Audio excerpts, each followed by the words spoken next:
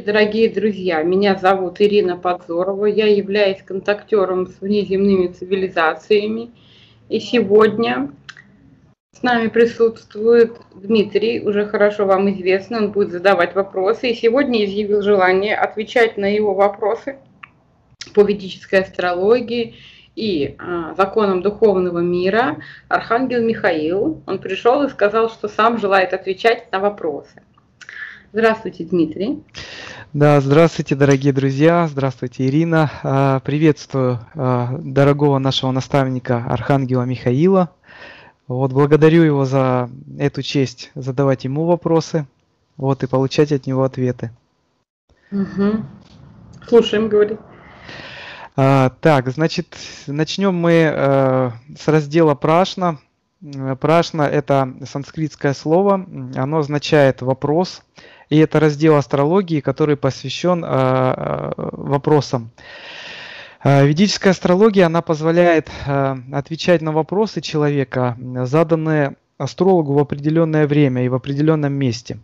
Вот. При этом, если расшифровывать гороскоп, составленный в этом месте и в это время, когда был задан вопрос, то этот гороскоп, он показывает ответ на этот вопрос.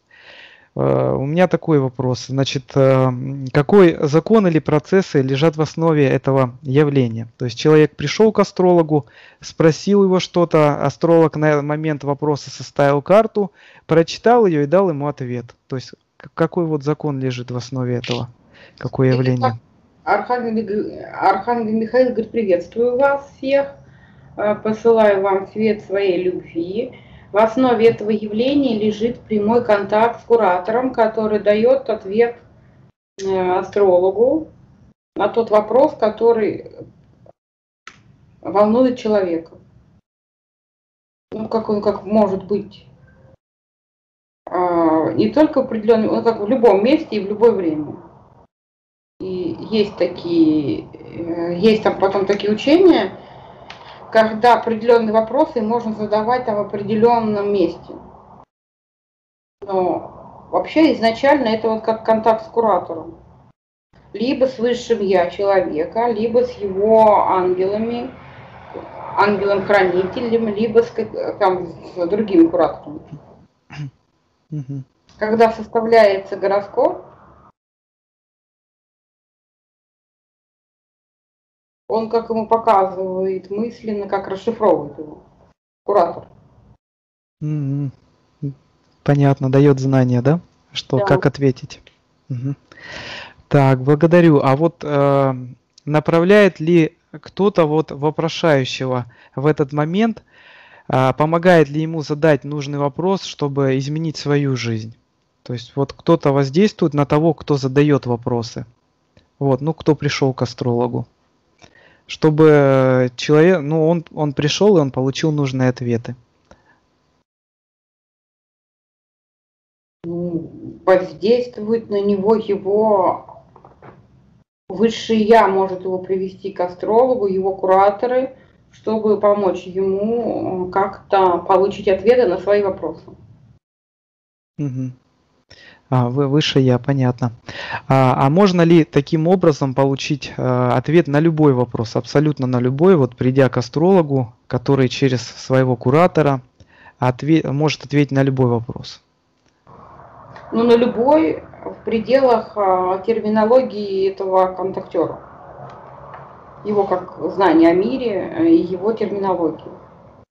Например, если человеку, владеющему там русским языком, спросить, а, какой там, не знаю, главная столица, главная улица в испанской столице, не ответить, него нет понятийного аппарата. А в пределах его терминологического аппарата и его духовного как опыта, убеждений, то есть внутренней наполненности контактера определенными лингвисти... Э, лингвистическими э, структурами. Угу. В этих пределах можно любой, да. То есть используется память э, астролога, да, и вот из этой памяти, ну, как бы он может отвечать на основании того, что там есть. Ну, как, как контактер, наверное, да? Дело в том, что вот контакт астральный, он так и характерен, что если куратор будет вкладывать знания, которые неизвестны контактеру, они как для него будут белый шум, то есть ну, как невоспринимаемый. Или опять воспринимаемый на уровне его понятия. Угу. Благодарю. А, а вот такой вопрос. Э, подобное знание, оно используется где-то еще вот э, на других планетах? Э, вот, ну, именно прашна вот эта методика, когда кто-то у кого-то спрашивает, и тот отвечает с помощью техник определенных, кроме Земли. Ну, есть такие учителя, вот он говорит, в Международном Союзе есть такие учителя, которые как учеников учат, как им а, ну, не советы в жизни дают, а вот чему-то более материальному. Угу. А про свою жизнь все при, приучаются спрашивать у себя. А, каждый, каждый у высшего я своего спрашивает. Да. Угу. Понятно, благодарю. Вот следующий раздел, э, по которому будут вопросы, он называется Мухурта. А, Мухурта дословно в переводе санскрита означает час.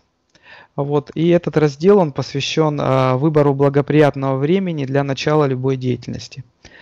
Ну, например, то есть есть такая зависимость Э, например, семья, созданная в благоприятное время, она существует долго и гармонично. Э, зачатие ребенка в благоприятное время происходит и приводит к появлению благочестивого потомства.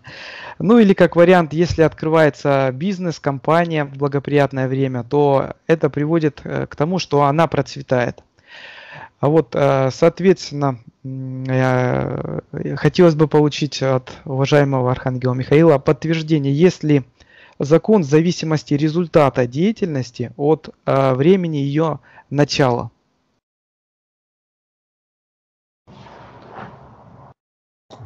Это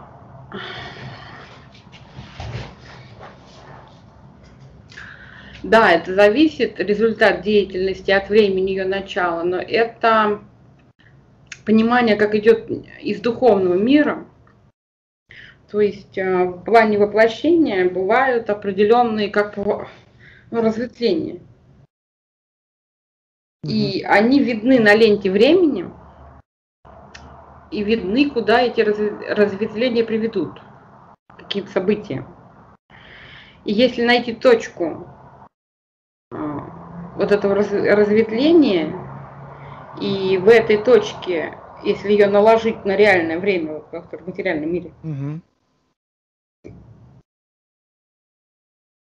наложить начало этого события или какого-то процесса, то оно а, с большей степенью вероятностью пойдет по а, пути э, воплощения как более быстро, будет наполнено более благостными энергиями, а если это будет назад или вперед по времени, то могут препятствия появиться. Понятно, то есть это то связано взгляд, с... Взгляд из духовного мира, он говорит, ну, как вот изначально было. Оно, ну, а оно как бы материализуется, получается, то есть это все. То есть из духовного мира видно, э, когда, в какой благоприятный период лучше всего начать это дело, потому что там видно еще, как ленты, в ленте времени видны временные линии других людей, mm-hmm. которые не видны человеку.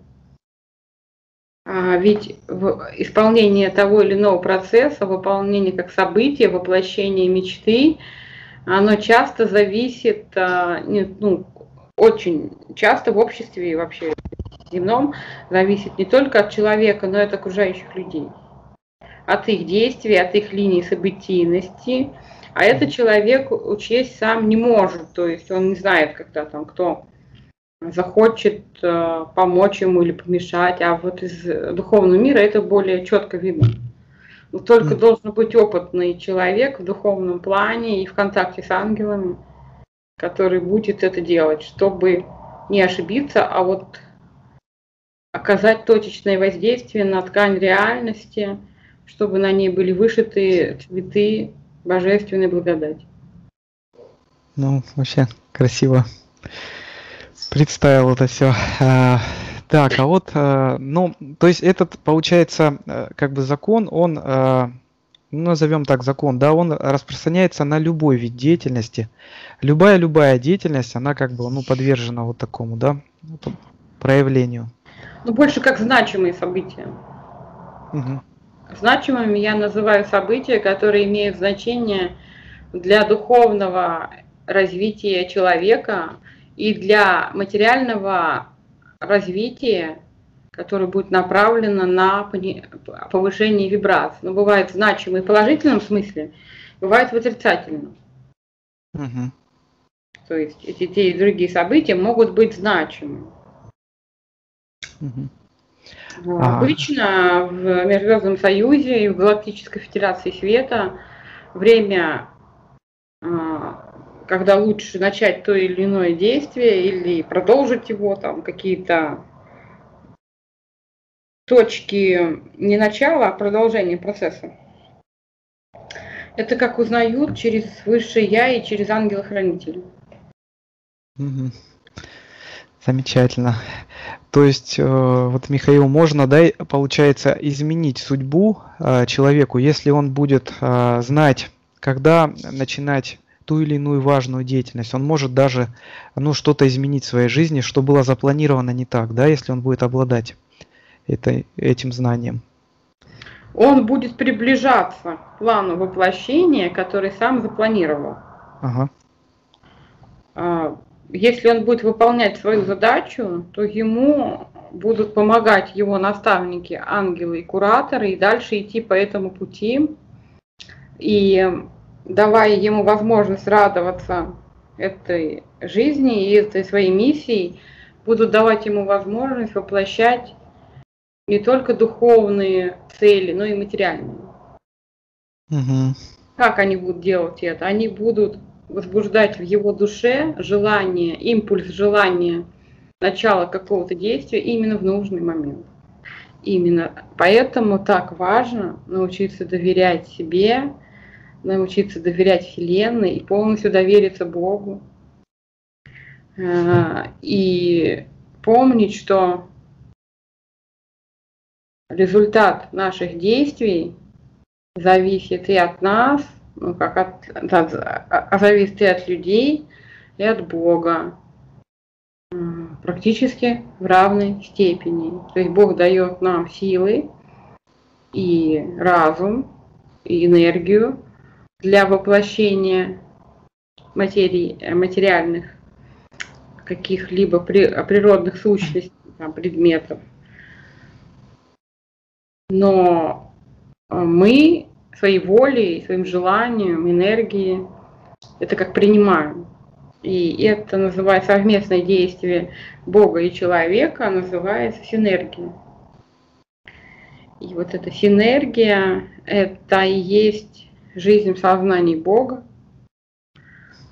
Как бы он ни назывался, на каком бы языке земли, какое бы имя ему не дали люди, это всегда одна и та же божественная сущность, ее можно распознать по активному распространению любви, радости, жизни, истины. Если вы это видите в каком-то, ну, казалось бы, вам мифологическом существе, эти признаки, то так люди называли Бога истину. Да, благодарю. А, Михаил, подскажи, пожалуйста, вот а, ты говоришь, что ангелы, они направляют, они помогают, они подсказывают. А, не столько всего делают для человека, а что может сделать человек, вот воплощенный дух на земле, для того, чтобы, ну, порадовать ангелов, да, то есть что-то вот отблагодарить их, как это сделать ему? Ангелы радуются, когда люди становятся похожими на них, тогда они не чувствуют себя бесполезными. Они тогда не чувствуют себя ненужными, они чувствуют себя едиными с людьми. И когда к ним присоединяется дух, который был не на их, ну как ниже их уровня, то э, на небе, как, э, на, как в раю, начинается праздник. Вот такой, как они радуются, как бы в крыльях хлопают. Замечательно. Вот. Ну, ладно тогда, благодарю. Следующий такой вопрос тоже вот в завершении этой темы Мухурта, да. А, я заметил, что ну, люди ко мне обращались, я э, говорил им о благоприятном времени. Э, ну, у, у некоторых людей получается что-то начать вот важное, да, в это благоприятное время, которое я рекомендую. А у некоторых, ну, словно вот препятствия идут, они не могут, вот у них множество препятствий появляется, чтобы это сложилось так, и деятельность, она началась ну, в благоприятное время, которое я сказал. То есть вот кто может создавать эти препятствия и почему как бы человек не может начать деятельность в это время?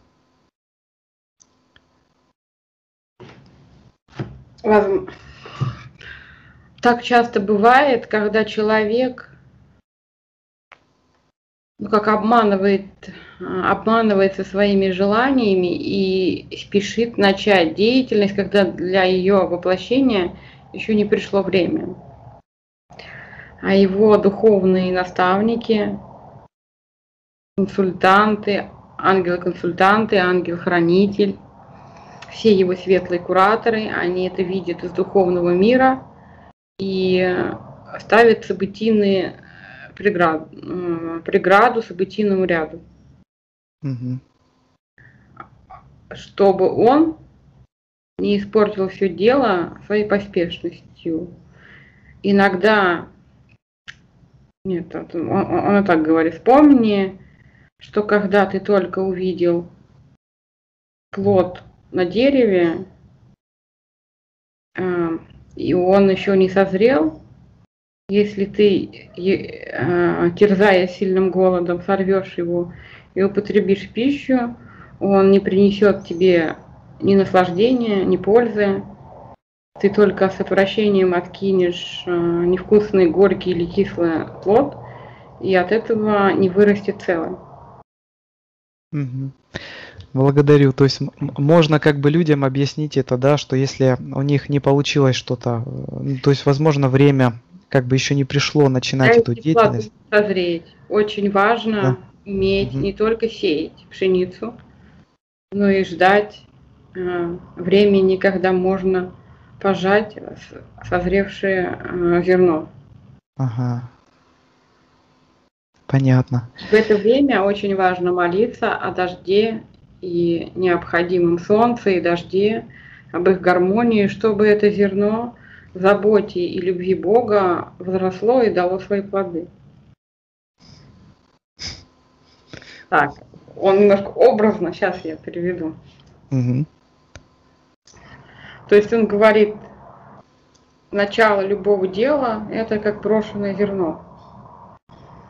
Это может быть сказанное слово, это может быть подписанный документ, это может быть первое первое написанное слово большого романа. Это может быть первый цветок, подаренный любимый.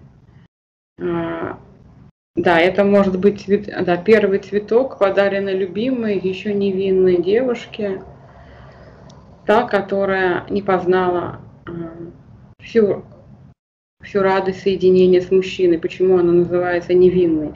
Это не потому, что у нее есть какая-то вина, а потому что она не испытала тех чувств, а, она еще не испытала тех чувств, которые, сделают, которые сделают ее готовой к рождению младенца. То есть невинный, это уже более современное, раньше назывались наивный. Ага. Угу. Наив, то есть это состояние души ребенка. И бывает, что парень, подарив первый цветок своей любимой девушке, еще наивной, романтичной, спешит перейти к действиям, когда она еще не готова. И этим портит все дело, даже до того а, момента, а, даже доходит до того, что девушка начинает чувствовать страх и настороженность и недоверие, э, вызванное поспешностью парня, и из-за этого рушатся их отношения, не рождается ребенок. Угу. Умейте ждать. Умейте да, благо... вкладывать в любое дело свою э, энергию, свою силу. И умейте ждать, не ожидая того результата, который вам необходим. Не зацикливайтесь на результате. Умейте отпустить э, плод по течению, чтобы встретить его в другом месте, наполненном сокровищами вашего разума и богатства души. Благодарю. Благодарю, Михаил. Вот тогда так просто красиво. Ну, Михаил так говорит красиво. Очень не нравится. Вот э, такой, такой вопрос, вот продолжение прямо вот. Э, девушка, она там, да, может быть, э, парень спешит, но здесь вопрос именно о деятельности. Влияет ли э, время э, близости, э, в которую произошло близость произошла близость мужчины и женщины на а, пол ребенка, на его как бы на то, какой, каких вибраций дух воплотится там, э, на здоровье. То есть вот само время э, зачатия, ну даже, не, наверное, не зачатия, а и близости, да, ведущей к зачатию, оно влияет на то, какой дух воплотится. Из материального мира, в котором и созданы системы астрологии, все-таки они созданы в материальном мире с помощью материальных а, органов, которые вы называете головным мозгом, которые настроены только на линейное восприятие действительности, угу. линейное, счет по порядку. Действительно так и видится, что от времени зачатия зависит определенные э, структуры духа. Из духовного мира э, все наоборот. Время зачатия и, и пол ребенка определяются еще в духовном мире. Угу. И в момент зачатия пол уже известен. Пол известен уже тому духу, который приходит к, родителям в момент зачатия. Да, в момент зачатия своего будущего тела вы все присутствовали рядом со своими родителями. Вы их видели. Ну, как не физически, а энергетику. Угу. Что может повлиять на дух? Негативно может повлиять, если будущие родители сливались друг с другом не в состоянии чистой любви.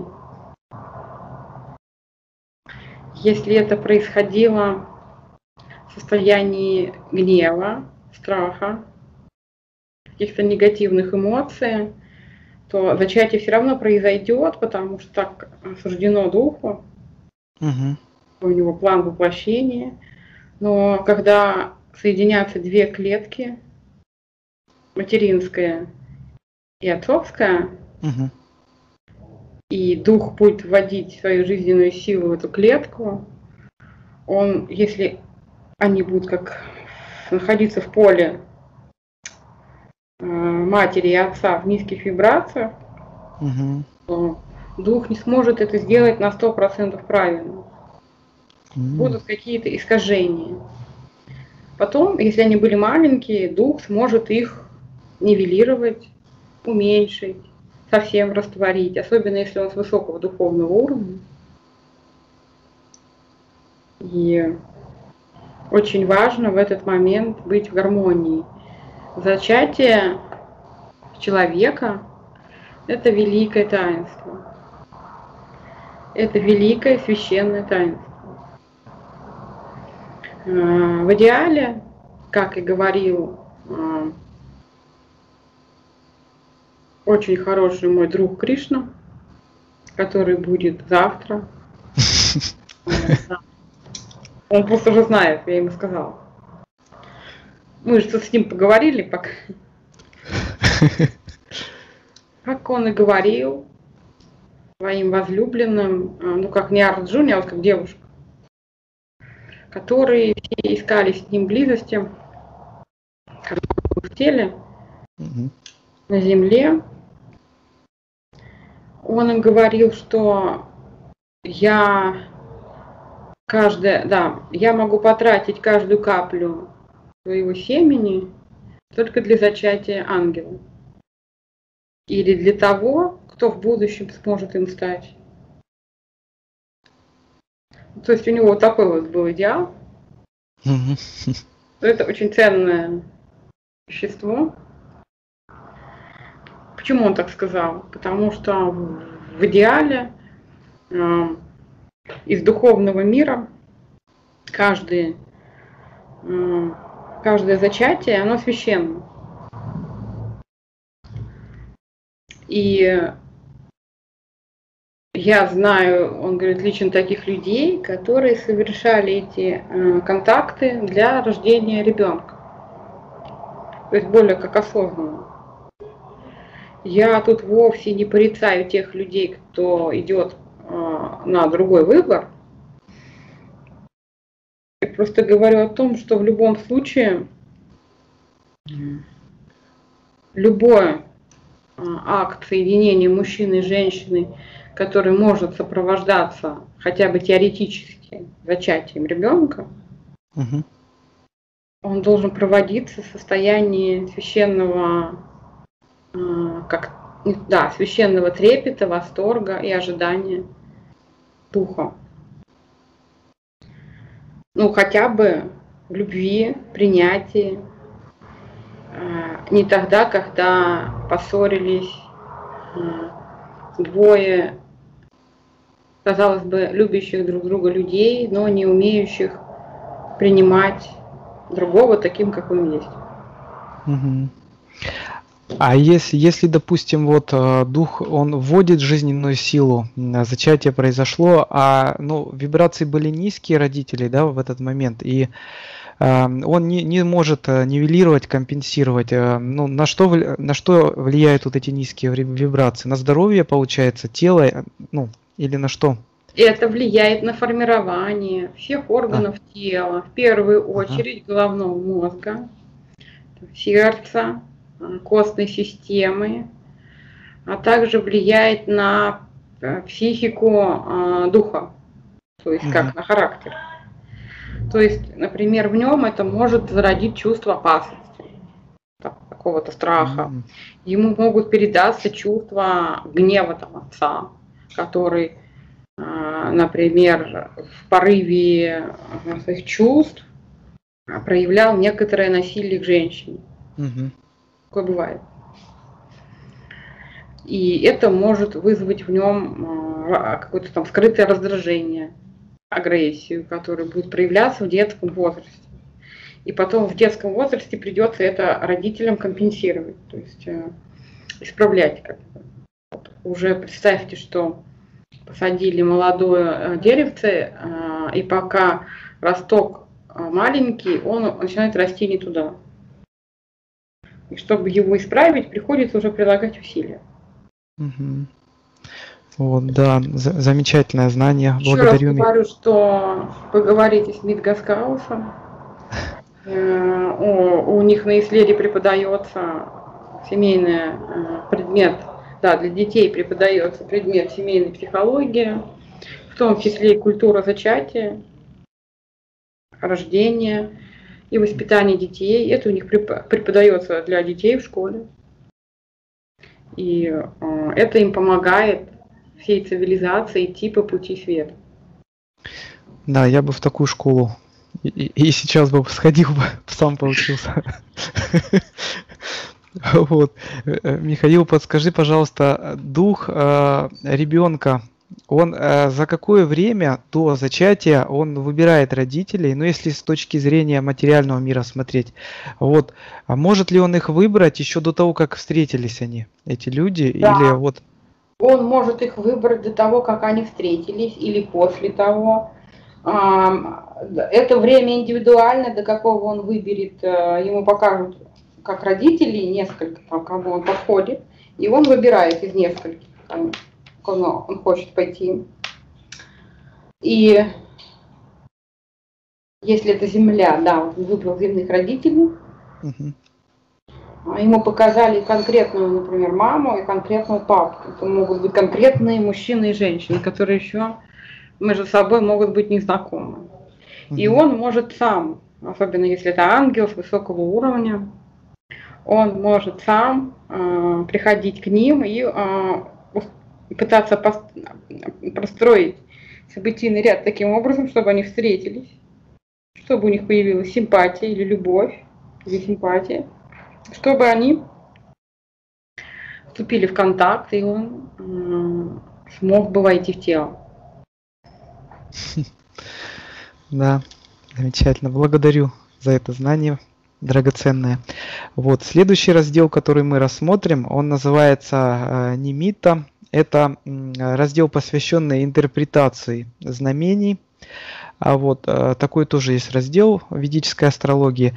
Ну, например, если считается, если думать об отношениях с кем-либо, да, и видеть при этом э, кошку и собаку, то это э, говорит о том, что будет крах в союзе.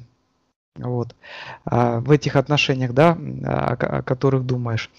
Если, допустим, кошка пересекла дорогу справа налево, то это плохой знак считается. Вот. На, надо отменить встречу, в общем, не идти туда, где это произошло. Вот. Или, допустим, увидеть кролика или зайца во время путешествия. Очень плохой знак. А, ну, такой же плохой знак увидеть ворону, которая стоит на одной ноге или чистит перья. А это вообще к смертельной опасности.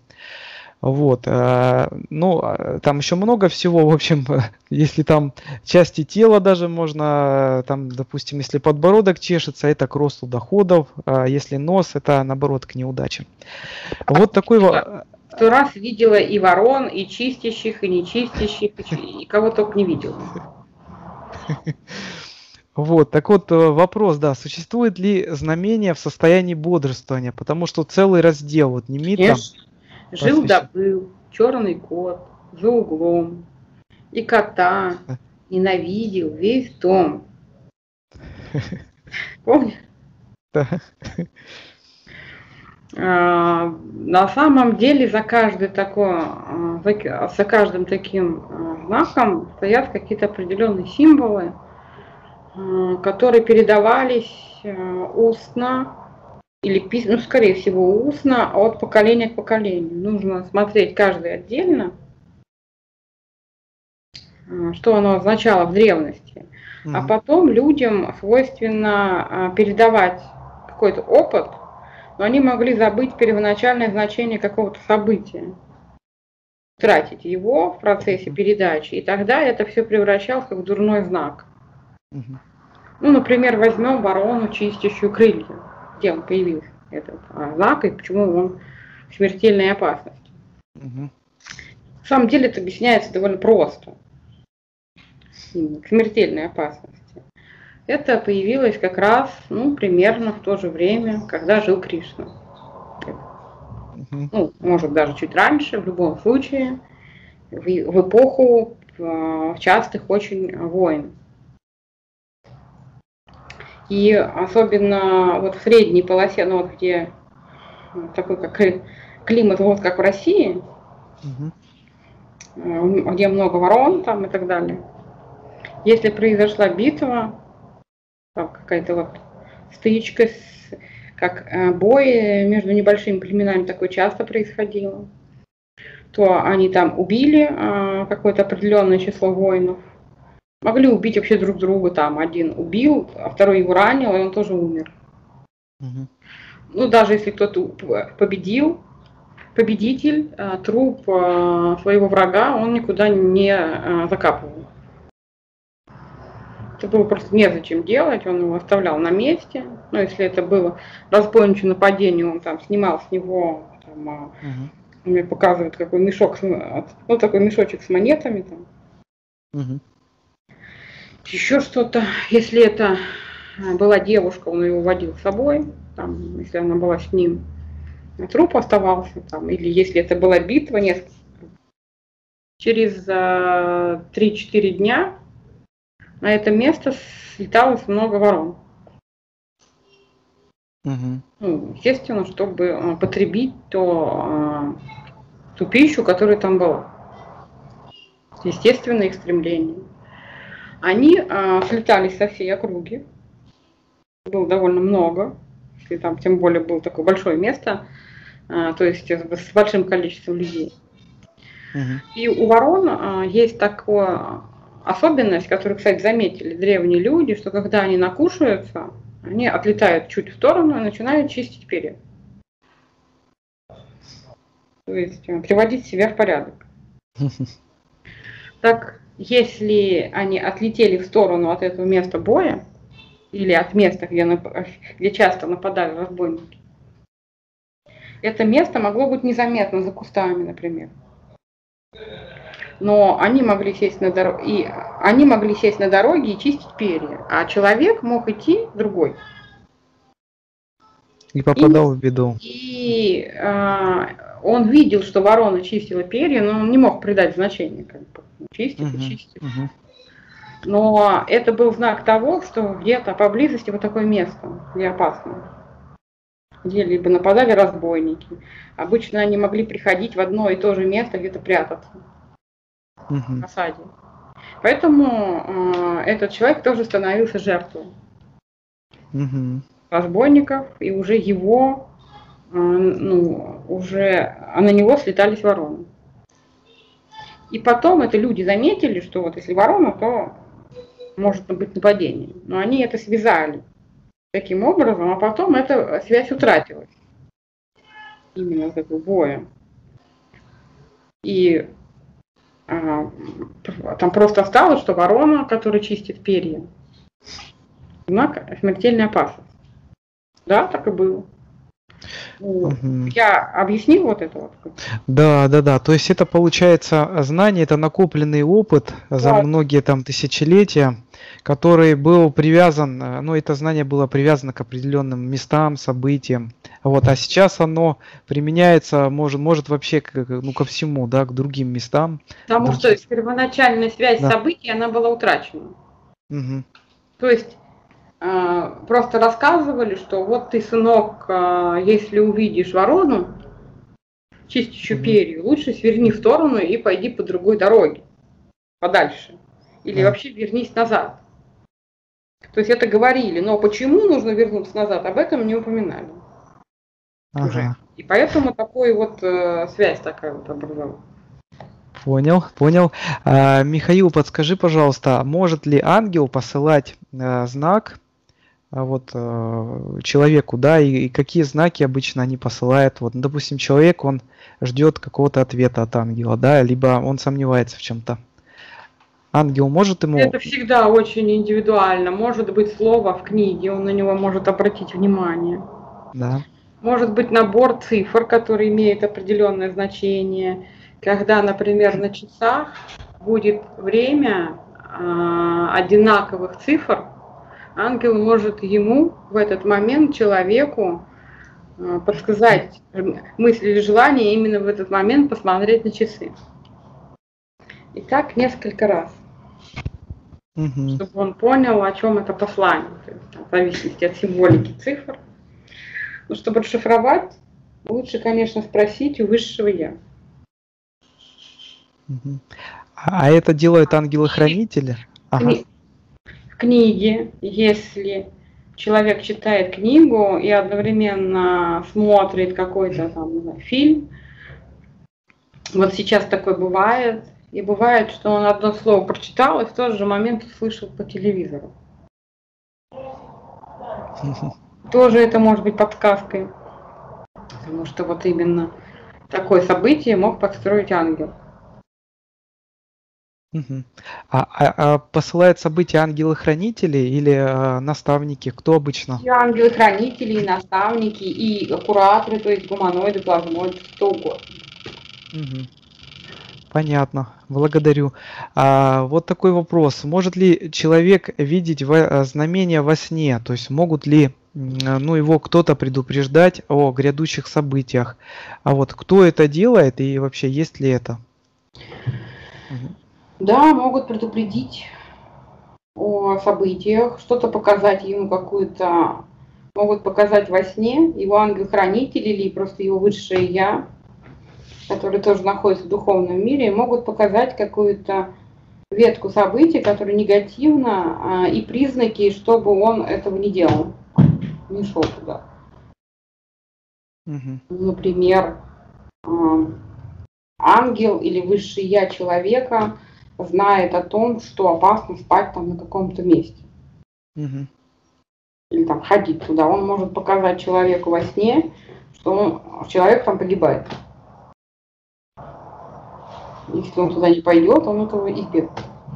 Такое может быть. А, то, то есть как бы однозначно, чтобы человек это понял, да?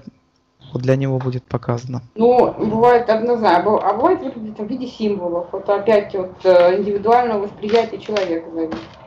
Угу. А, так, понятно.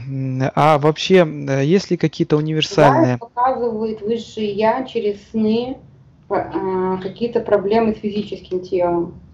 Ну, например, а, человеку может ну, снится постоянно один и тот же сон, несколько там раз в неделю, uh-huh. что он там, например, подавился костью рыбы. Uh-huh.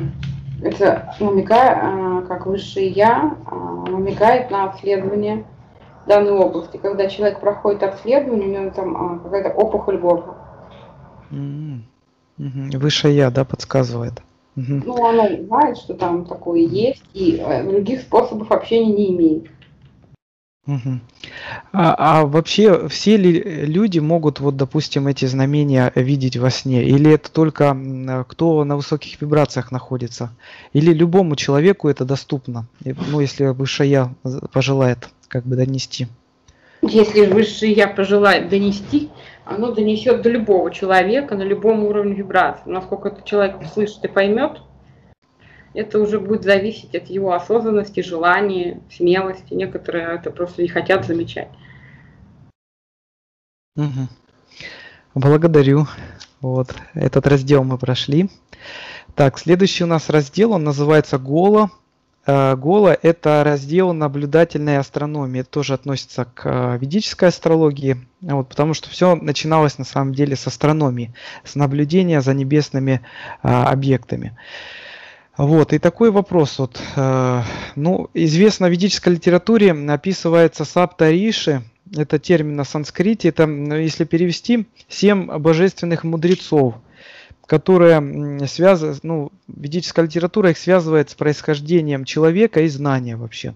Вот их имена Гаутама, Бхарадваджа, Вишвамитр, Джамадагни, Васиштха, Кашьяпа и Атри.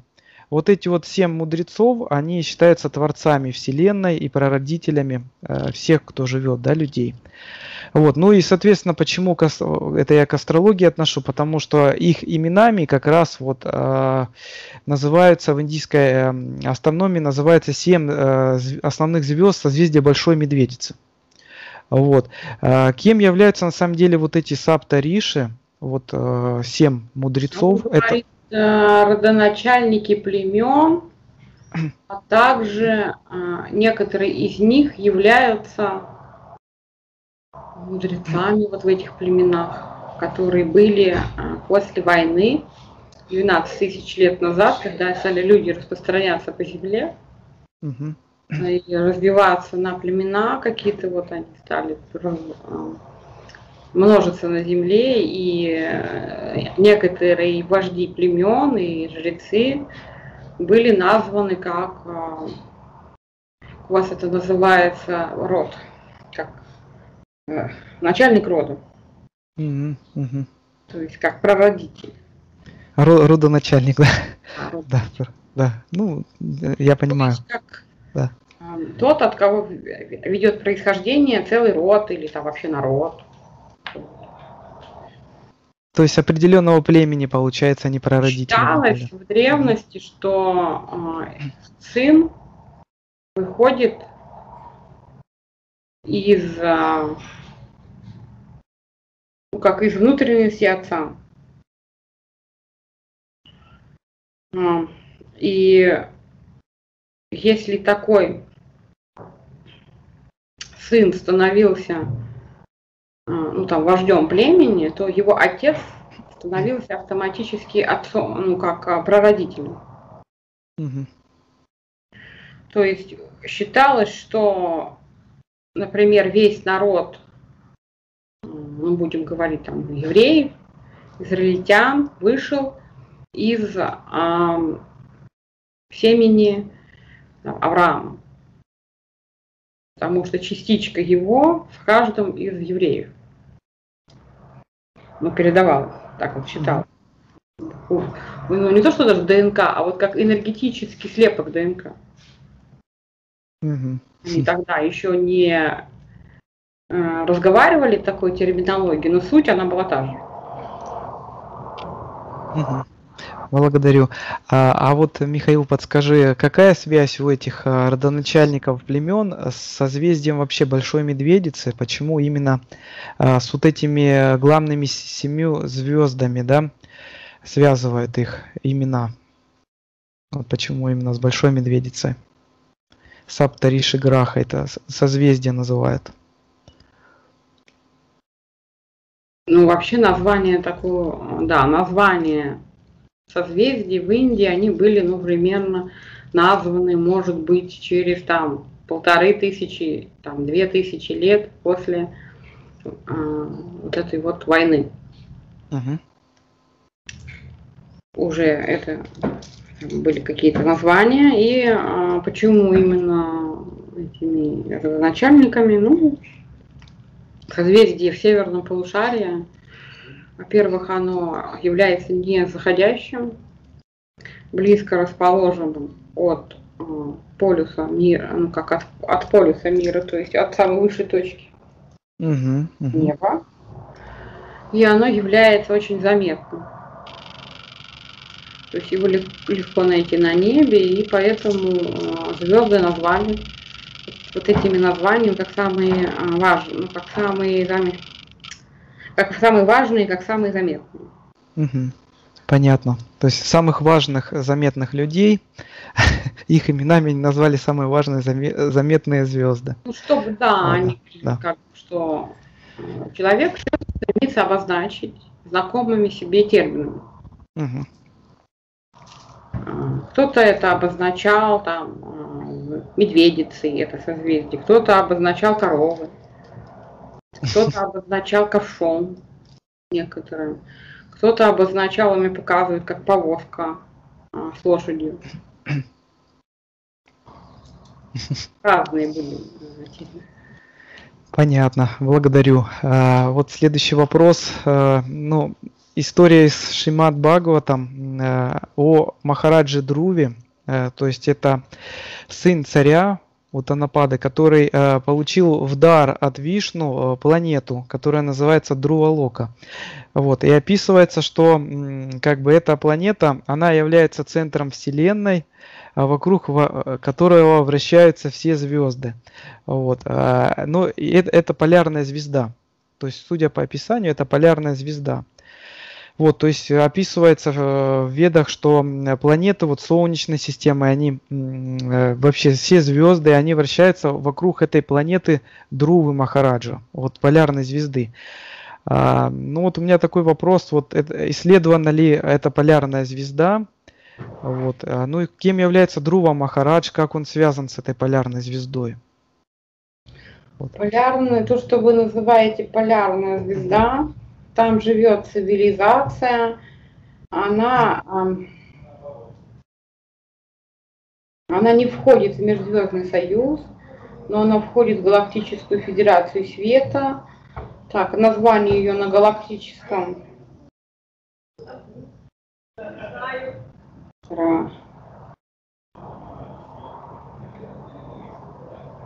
Раншкак какая-то. Раншкака. Да, Ранушкака. Там живут существа. А, что-то такое. Он мне показывает как человека, но ноги как, как вот такие вот бывают эти у кузнечика. То есть это как...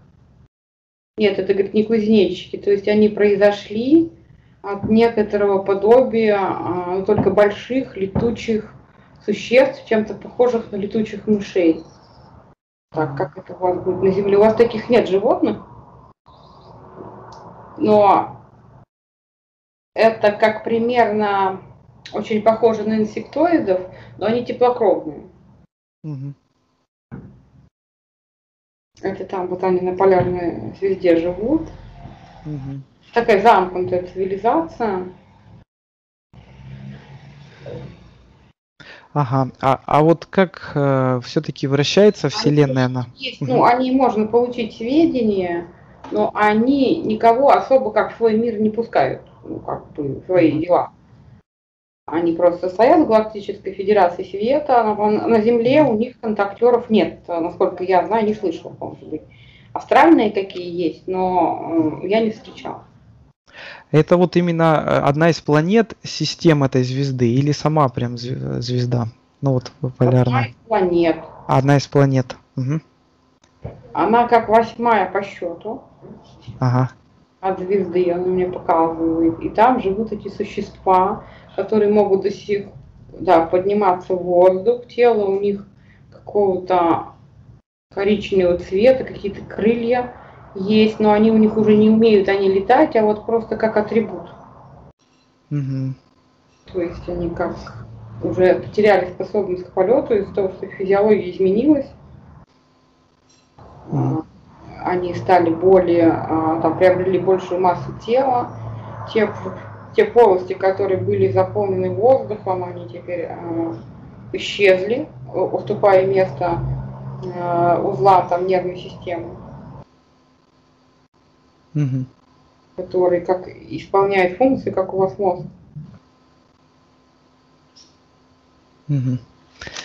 В них воплощается разумный дух. Угу. Понятно, благодарю. А, а вот сама полярная звезда, является ли она центром Вселенной? Что вот, почему так, как бы, древние люди, они вот так называли? Вообще, центром Вселенной для нашей галактики в личный Путь является центр галактики. Угу. А полярная звезда – это точка, вокруг которой вращаются, а, ну, можно сказать, видимые созвездия. То есть а, как бы вращается небо, когда человек смотрит вверх. Угу. Приятие человека но в разные эпохи роль полярной звезды выполняли разные звезды. Когда-то это была Вега. Очень такая яркая звезда, и вокруг нее все вращалось. Вот как раз во времена Кришны примерно это и было. Через несколько тысяч лет а, такой полярной звездой будет Тубан, альфа дракона. Понятно, благодарю. Вот. А сам Друва Махарадж, он какую имеет связь с этой звездой? А, вот что имеется в виду, что ему подарили планету эту? Это символ чего-то, да? Планету, значит, подарили воплощение на ней. А, вот, вот что означает. Понял. Благодарю. Так, вот э, такой вопрос с астрономической точки зрения, э, вот если смотреть Земли, э, все звезды и группы звезд э, располагаются в северном или южном полушарии небесной сферы. Вот. Созвездие южного полушария невозможно увидеть, находясь в северном полушарии Земли. То есть можно только увидеть созвездие северного полушария. Да? А, а вот цивилизации, которые выходят на контакт с нами, цивилизации Межзвездного Союза в первую очередь, это ну, такие как Буруха, Тумисоу, Теслер, Шимор, Дисару, Футиса, Ташик. Ну, Футиса это э, Галактическая Федерация Света, но тем не менее Ташик, Силбет, Дарау. Все эти цивилизации имеют свои центральные планеты а, как бы в, в северном полушарии небесной сферы. Вот, э, если, чем это объясняется вообще, есть ли какая-то в этом закономерность, что вот кто с нами выходит на контакт, их Планета планеты... Тих. Вот угу. планета Тих в созвездии скульптора, это южное полушарие. Угу. Просто эта часть галактики, она является, ну, как более населенной, что ли. Mm-hmm. Возможно, ну, более населенной. По какой причине?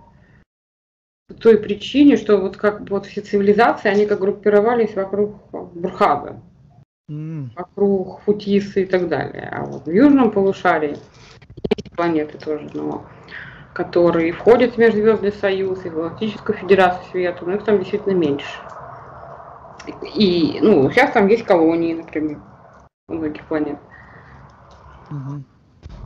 То есть это связано с Бурхадом, да, э, то есть старались как бы, ну, колонизировать и населять те планеты, которые рядом, ну, в том же находятся, да, участки небесной сферы.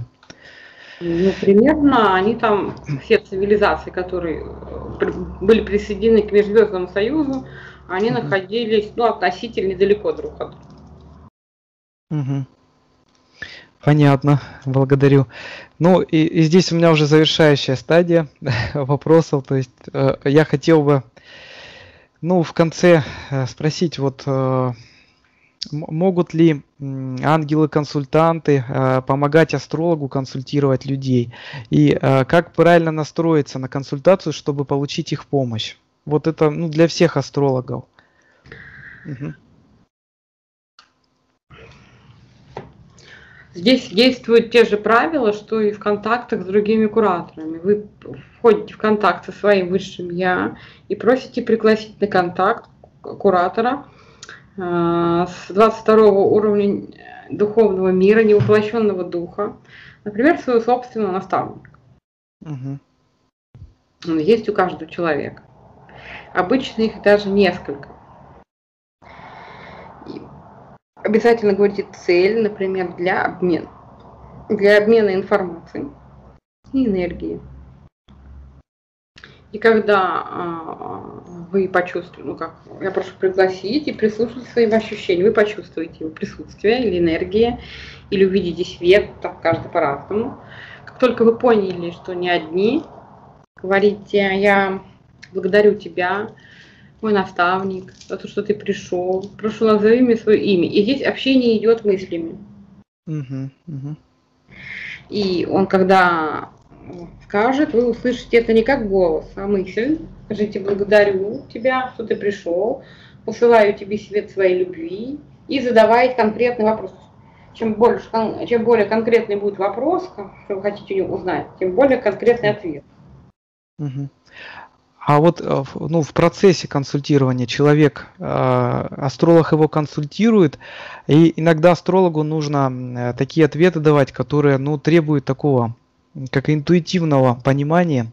Где-то даже он не знает, но говорит, да, вот чувствует, что вот так надо сказать. Можно ли в процессе консультации получать, ну, передачу информации, получать информацию от ангелов-консультантов? Ну, ну уже... Учитесь это делать сначала без э, посетителя, привыкните к его энергиям, привыкните к его вибрациям, адаптируйтесь, угу. поймете, как у вас идет контакт, можете в процессе мысленно потом приглашать и спрашивать. Угу. В процессе консультирования можете приглашать мысленно через высшее я ангела-консультанта. Даже э, можете с разрешения человека, э, можете попросить, я могу войти в контакт с вашими наставниками. Э, но лучше, конечно, если это будет, опять же, в рамках через его высшее я, но если делать именно астрологическая консультация, то есть это тоже может быть такое, то вы можете пригласить своего наставника и его наставника через свое высшее я, и они как будут вдвоем говорить. Да, благодарю, замечательно. Я думаю, так нужно проводить консультации. Это максимальное благо принесет. Только придет наставник другого человека, также обязательно его поблагодарить, послать ему свет любви, спросить его имя и а, спросить, что а, я благодарю, что ты пришел, я знаю, что э, это ты составлял план воплощения для этого человека. Вот нас интересует, как этот план воплотился через гороскоп. Что это значит? То есть, какое толкование ты дашь? Ну, они обычно с удовольствием дают э, разъяснения. которые будут способствовать духовному развитию человека, которого они, который, наставником которого они являются. Благодарю. Э, дорогой Архангел Михаил, я, я бы хотел попросить тебя ну, пожелать, э, что бы ты хотел пожелать э, всем астрологам Земли, какие твои рекомендации следует учесть вообще нам, вот как астрологам, да вот я как представитель астрологов, при работе с людьми, что бы ты хотел пожелать всем астрологам Земли? Я бы хотел пожелать, здравствуйте, дорогие друзья, говорит, я бы хотел пожелать всем астрологам Земли помнить, что любая звезда – это отражение э, красоты Всевышнего Создателя всех миров, его мудрости и любви. И любая звезда управляется божественной энергией и волей в форме э, воли, согласных с ним представители плазмоидных цивилизаций, которые собрали эти э, прекрасные, сияющие светом и теплом шары из первичного вещества Вселенной. То есть помните, что символы планет, звезд, аспектов, знаков – это буквы и слова того, который, из, из которого можно составить текст для каждой души человека, который к вам придет. И главное, чтобы вы это делали с любовью каждому человеку, не, не неся ему деструктивных эмоций, страха, вины, а только помогая развивать в нем любовь нашего общего Небесного Отца. Пусть прибудет с вами благодать Святого Духа и а, источника энергии всех миров. Благодарю, принимаю благословение. Вот, я очень признателен Архангелу Михаилу, что он э, сегодня нас удостоил своим явлением. Вот, отвечал на эти замечательные вопросы. Ответы были еще лучше, чем вопросы. Вот, э, и, ну, я хочу тоже от себя пожелать э, всем астрологам Земли а, нести свет своей божественной любви тем, кто его ищет, кто в нем нуждается, чтобы а, вы были настоящими проводниками света и а, всегда радовали ангелов, ну, выполняя ту работу, которую ангел в духовном мире выполняет, выполняли ее на земле. Вот это от меня пожелание. Благодарю еще раз. Михаил. Благодарю всех. Ирина, благодарю. Благодарю Гейма, благодарю Архангел Михаил, благодарю вас, дорогие телезрители, за что вы были с нами. До новых встреч, друзья. До новых встреч.